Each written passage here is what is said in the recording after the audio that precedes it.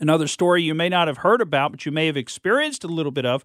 Did you know that the U.S. military is jamming GPS signals right now?